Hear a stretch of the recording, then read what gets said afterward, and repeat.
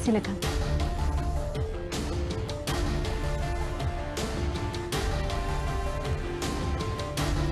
Terima kasih Nurul di Angkasa Puri. Tanjung Dawai di Merbuk antara lokasi yang dikenal pasti untuk dibangunkan selari dengan agenda membandarkan luar bandar bagi meningkatkan kualiti kehidupan yang lebih baik di kawasan desa. Ia selaras dengan hasrat Perdana Menteri Datuk Seri Ismail Sabri Yaakob yang mahu agenda membandarkan luar bandar diperkasakan dalam usaha memacu pembangunan sekaligus membasmi kemiskinan di kawasan luar bandar. Menteri Pembangunan Luar Bandar Datuk Seri Mahzir Khalid berkata pihaknya akan mempertimbang cadangan projek pembangunan dan penambahbaikan keperluan asas Tanjung Dawai antaranya cadangan penempatan semula penduduk Tanjung Dawai, menaik taraf infrastruktur jalan raya dan membina jambatan antara Tanjung Dawai ke Pantai Merdeka. Selain itu, membina bangunan parkir bertingkat, naik taraf sistem perparitan, pembentungan dan sisa pepejal, membina pintu gerbang dan menara tinjau atau rumah api sebagai mercu tanda baharu Tanjung Dawai. Turut dicadangkan ialah membina waterfront di kawasan tepi laut yang merangkumi komponen bazar, medan selera, gelanggang budaya dan membina benteng pemecah ombak bagi mengelakkan hakisan pantai. Katanya kesemua projek pembinaan itu adalah untuk mengangkat dan melestarikan kota nelayan Tanjung Dawai sebagai destinasi tarikan pelancongan di Kedah. Jadi sudah tentulah Kedah kena collaborate dengan Majlis Pembandaran uh, Sungai Petani. Uh, Kedah kena collaborate dengan uh, uh, pihak uh, pejabat daerah. Uh, Kedah kena dengan uh, Lembaga Kemajuan Ikan Malaysia LKIM dan agensi-agensi lain, pejabat tanah dan sebagainya. Kalau kita ada dan kerajaan negeri lah, uh, KPLB, uh, boleh boleh kita duduk. Macam mana kalau kita nak tengok Tanjung Dawa itu dalam uh, warna ataupun dalam masa depannya yang lebih lebih baik dalam konsep yang disebut oleh Yang Berhormat Perdana Menteri membandarkan kawasan desa. Beliau bercakap kepada pemberita selepas melakukan tinjauan ke beberapa lokasi di sekitar Tanjung Dawai Merbuk. Tanjung Dawai merupakan penempatan nelayan berstatus pekan dengan keluasan 119 hektar. Tanjung Dawai juga signifikan sebagai kawasan ekologi dan warisan budaya antarabangsa. Ia terletak dalam koridor hutan paya bakau Semeling yang dalam proses untuk diwartakan sebagai Rizab Biosfera UNESCO ketiga Malaysia. Mahat Dini Kolej Agama Sultan Abdul Halim Alustar di bawah Lembaga Zakat Negeri Kedah LZNK menjadi sekolah watak pertama di negara ini ditubuhkan Kadet Sekolah Pertahanan Awam KASPA. Pasukan itu ditubuhkan dengan kerjasama Angkatan Pertahanan Awam Malaysia APM.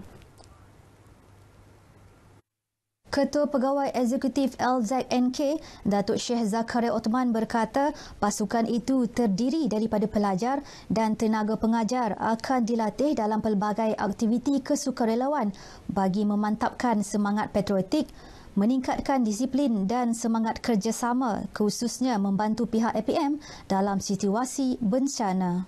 Latihan kemahiran asas dikendalikan APM di setiap negeri atau menerusi latihan berpusat. Sambil mengalu-alukan penyertaan pelajar dalam KASPA, beliau berkata kesemua peserta pasukan akan dibimbing melalui kor kurikulum pertahanan awam secara menyeluruh selama dua tahun. Jadi mereka ni akan dibentuk dengan segala ilmu uh, keselamatan, pertolongan, kecemasan.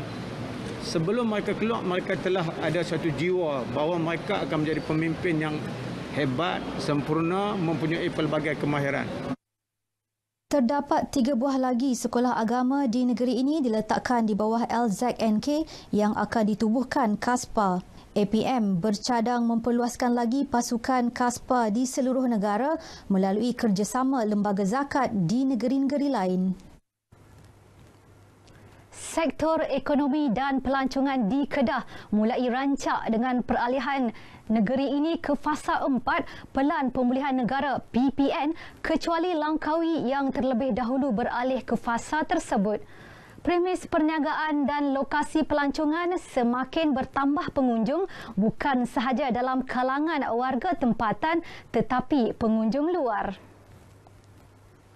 Berdasarkan tinjauan RTM, pertambahan ketara sejak kebenaran rentas negeri 11 Oktober lalu, ia menyaksikan kedatangan pengunjung dari luar terutama Lembah Kelang ke lokasi pelancongan seperti Dataran Bandar, Masjid Zahir, Pekan Rabu dan Menara Alustar. Pengoperasian Pejabat Kerajaan Negeri Kedah dan Persekutuan menyaksikan kehadiran 100% kaki tangan ke pejabat. Manakala Mercu Tanda Kedah Menara Alustar juga mencatatkan peningkatan sebanyak 13,000 pengunjung setakat 10 November sejak kebenaran rentas negeri dikuatkuasakan. Kebanyakan pengunjung datang berkeluarga bagi menyaksikan panorama indah Bandaraya Alustar.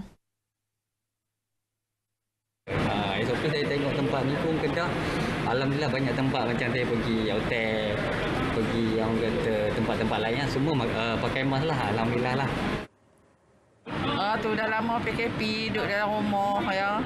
Ah ni boleh keluar ngata ambil peluang lah kan.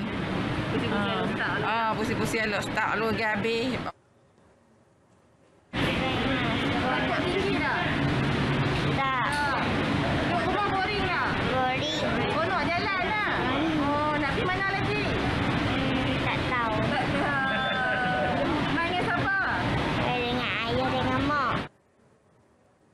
Pelbagai tawaran menarik diberikan kepada pengunjung antaranya super deal ke pelantar kaca Starview yang mana telah mencapai sasaran lebih 57% kehadiran pengunjung. Masuk fasa empat ni kira ramai lagi pengunjung sebab orang dah boleh keluar melancong apa semua kan. Lepas tu ramai family lah yang datang kat sini. So, uh, tambahan pelancong tu kira ramai lah daripada negeri-negeri yang luar ni. Uh, banyak tempat Warna walk-in sekarang ni. Ha, kalau dari restoran tu banyak tempahan lah. Promosi sehingga 31 Disember 2021 itu dengan bayaran bermula serendah RM10 tertakluk pada terma dan syarat. Paparan itu tadi mengakhiri bahan berita dari negeri Jelapang Padi.